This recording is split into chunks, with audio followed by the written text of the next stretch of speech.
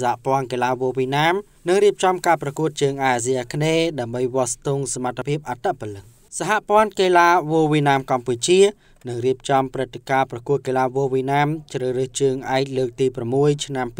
2023ពីថ្ងៃទី25ដល់ថ្ងៃទី30ខែមីនាឆ្នាំ2023អគ្គលេខាធិការសហព័ន្ធកីឡាវ៉ូវីណាមកម្ពុជាលោកយ៉ាំថៃសានបានលើកឡើងថា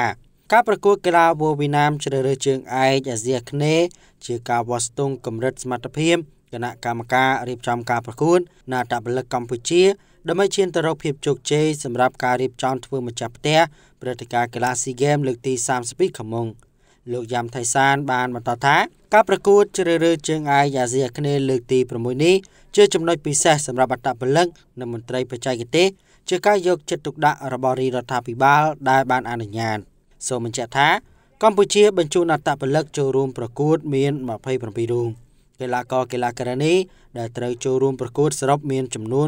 138រូបមកពី7ប្រទេសរួមទាំងកម្ពុជាជាម្ចាស់ផ្ទះដែលត្រូវលេងលើ30វិញ្ញាសាក្នុងនោះវិញ្ញាសាប្រយុទ្ធ8និងវិញ្ញាសាសម្ដែង22 ហើយការប្រកួតនឹងធ្វើឡើងពីថ្ងៃទី25ដល់ថ្ងៃទី30ខែមីនាឆ្នាំ2023នៅសាលដំបូលទូកក្នុងបរិវេណសាកលវិទ្យាល័យភូមិន្ទភ្នំពេញ។